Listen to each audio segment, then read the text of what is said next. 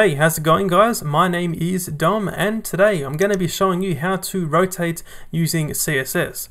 Okay, so when I say rotate, I'm referring to the ability to apply a 2D rotation to any HTML element. Okay, so in today's video, I'm going to be covering uh, multiple different CSS properties which all relate to um, rotation.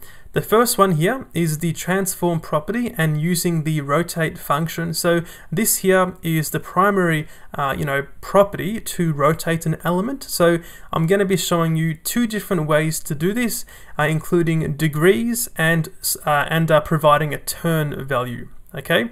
And the second uh, property here is the transform origin property. So this one here also plays a part in your transformations or your rotations, but this one here allows you to customize essentially uh, where the rotation uh, origin uh, you know is. So we're going to be covering that one also. So um, aside from that, I'm also just going to be uh, touching lightly on the um, uh, on the ability to apply a animation or a transition on your rotations to make them look smooth if you wanted to go um, down that path. Okay, so going inside this tab right here, we have this blue square.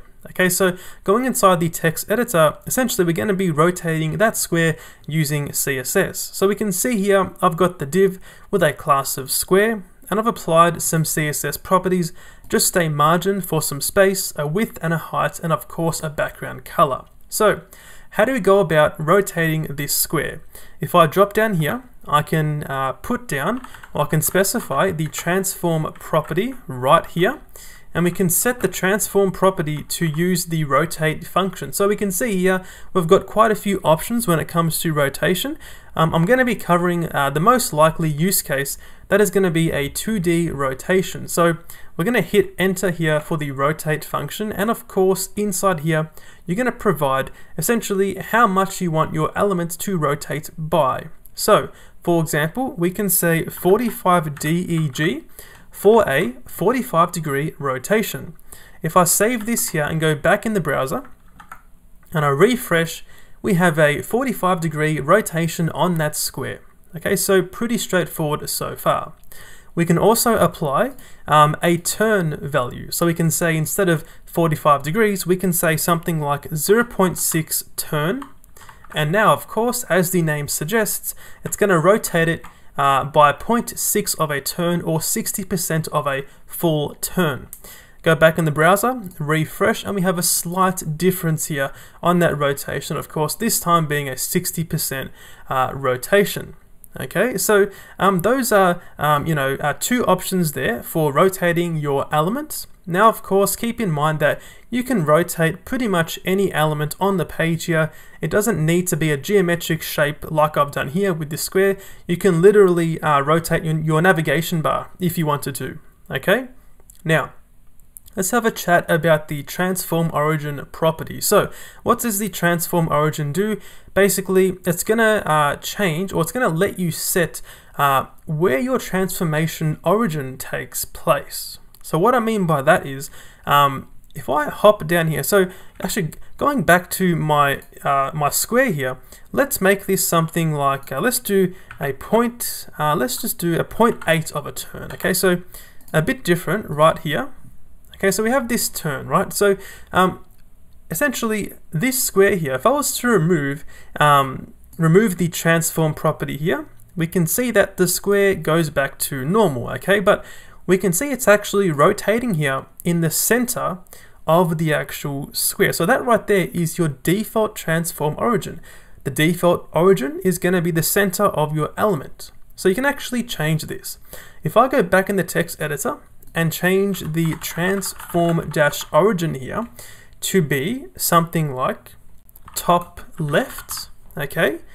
This of course is going to place my transform origin in the top left, which means if I go back in the browser and I refresh, we can see that now the transformation applies in the top left of your element.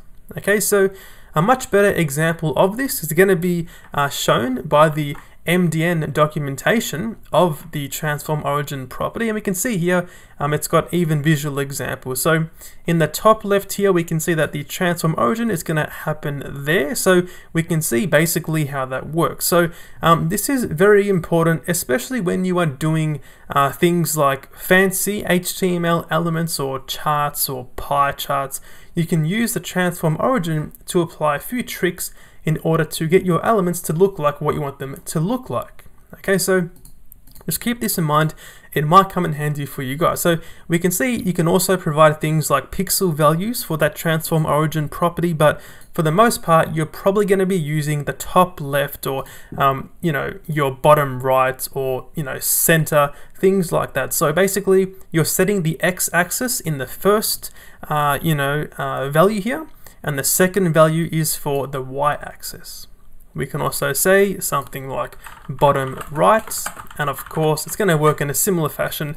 Save this back in the browser. Now it's going to be in the bottom right, right here um, for that rotation. So those are very useful properties right there. Now, what about applying a nice animation or transition on your rotation? Well, that is very straightforward. Let's go back inside here I'm going to remove the transform origin, okay, and drop down, then just say transition. So the transition property here is of course universal. You can use it for uh, many different CSS properties, but in the case of rotation, we're going to provide the transform uh, property right inside here, then just say something like 0.5 seconds. So basically, Whenever the transform property changes on your square here, it's going to take half a second to complete that change, which means you're going to get a nice smooth transition.